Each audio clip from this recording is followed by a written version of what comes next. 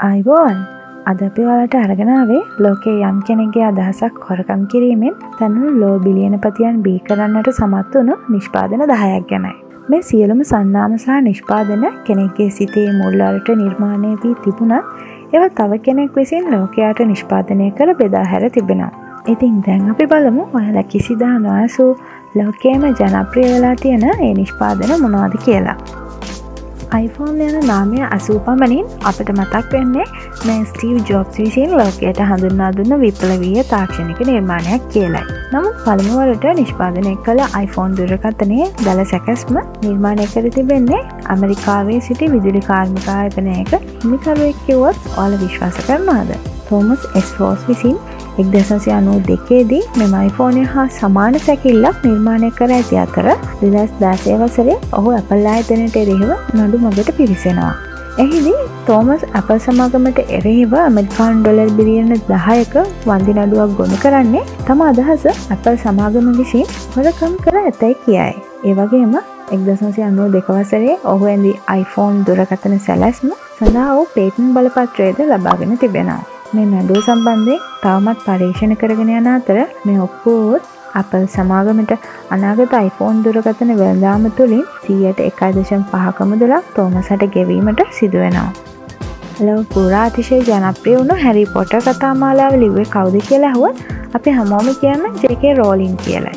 නමුත් මේ එඩ්‍රෙන් ජේකෝබ් නම් ළමා කතුවරයා විසින් රචනා කරන ලද කෘතියක් කියා ජේකොබ් පවුලේ අය විසින් ජෙකේ රෝලින්ට විරුද්ධව නඩුමඟට පිරිසෙනවා.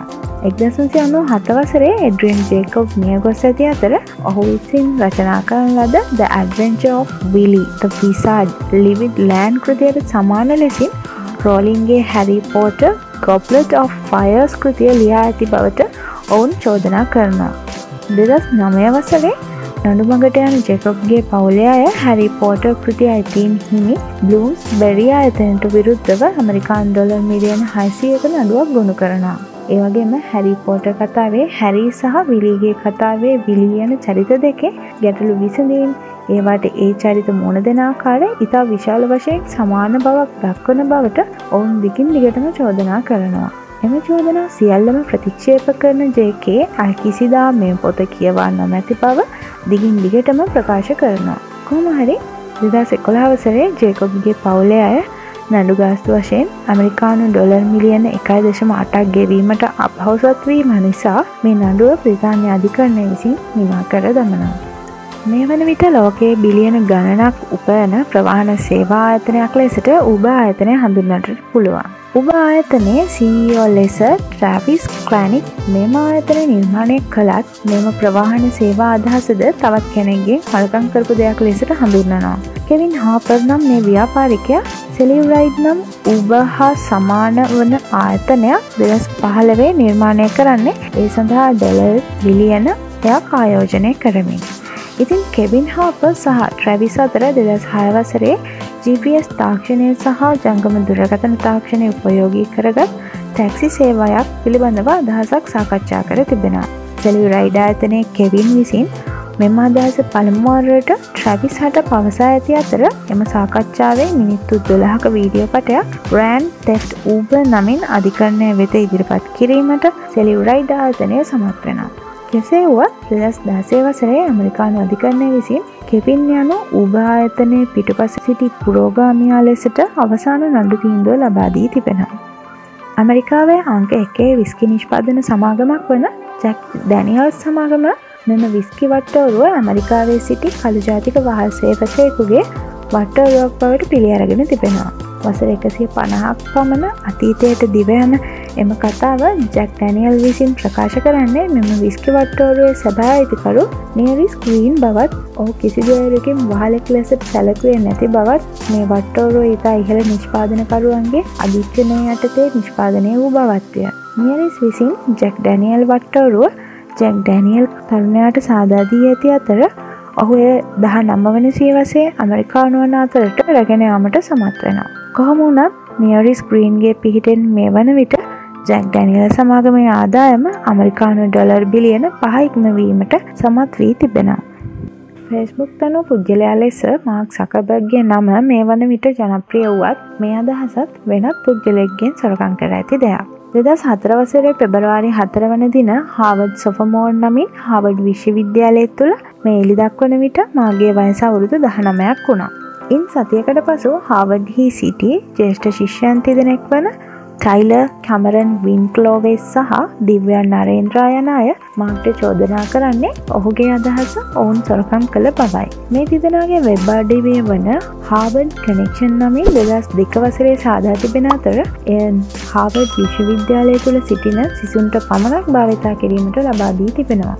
එම ව්‍යාපෘතිය පසුව කනෙක්ට යූ නමින් වෙනස් කර ඇති අතර එය හරහා අනෙක් විශ්වවිද්‍යාලවල සිසුන්ටත් මේ සඳහා එකතුවීමට ඕන අවස්ථාව ලබාදී තිබෙනවා. පසු කනෙක්ටයූ නිමවුම්කරුවන් දෙදස් හතර වසරේ නීතිමය මගට යොමුවන අතර කනෙක්ටයූ වැඩසටානේ සෝස්කෝඩ් සහ ෆේස්බුක් අඩවිය සෝස්කෝඩ්වලට සමානකමක් තිබෙන බවට ඔප්පු කිරීමට සමත්වනවා. දෙදස් අටවසරේ මෙම නඩු අවසාන වන අතර මාක් විසින් පින්ක්ලෝවෙස් සහෝදරයන්ට සහ දිව්‍යාහට අමරිකාන් ඩොලර් බිලියන හැට පහක්ගෙවා එය සමතයකට පත් කර ගැනීමට සමත්වෙනවා.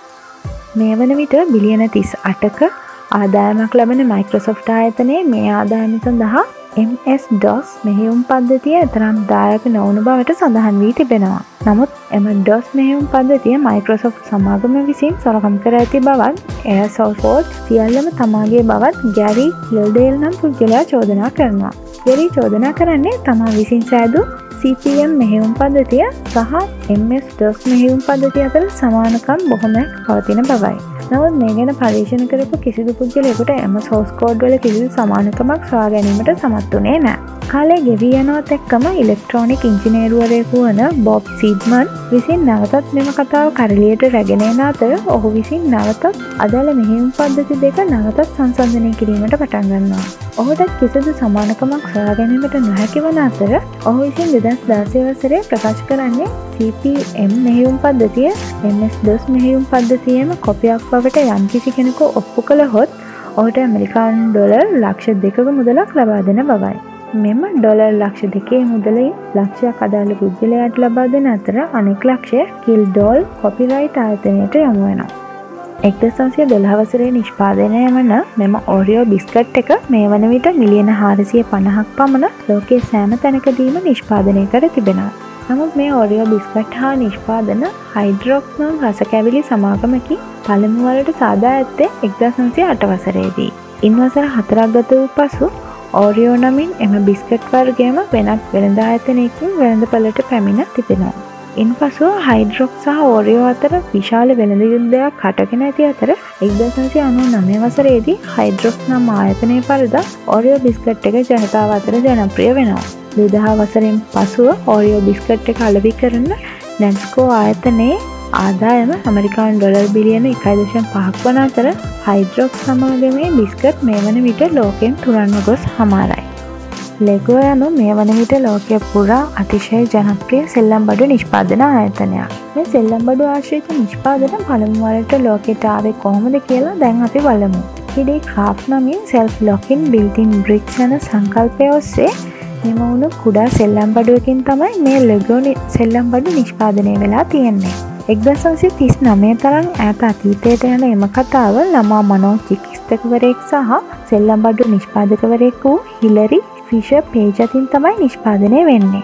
ඒ හෙලෝ සමාගම ලෙස නම් කර ඇති අතර ලෙගෝ නිෂ්පාදනය සහ එම හෙලෝ නිෂ්පාදනය අතර බොහෝ සමානකම් පැවතිී තිබෙනවා.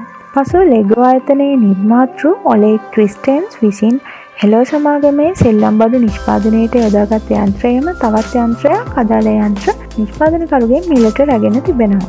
එම යන්ත්‍රය සෙල්ලම් බඩු හදන ඔලේගේ සෙල්ලම් බඩු හෙලෝ නිෂ්පාදනවලට වඩා අලවී විශාල වශයෙන් ඉහළ යනවා. හෙලෝ නිර්මාතෘ පේජ් එක්දසම්සිය පනස් හතේ සියදිවි හානි කරගෙන තිබෙන කළ ඔහුගේ කිඩි ක්‍රාෆ්ටා ඇතනේද ඉන් පසුව වැසී ගොස් තිබෙනවා.